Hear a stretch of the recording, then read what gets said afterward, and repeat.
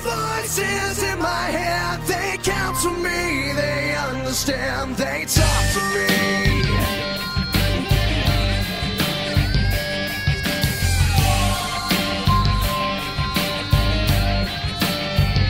You got your rules and your religion, all designed to keep you safe.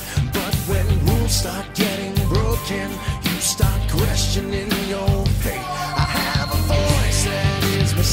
savior, hates to love and loves to hate.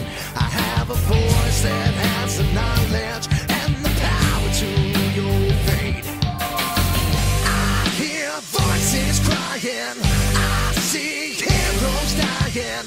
I taste blood that's trying. I feel tension rising. I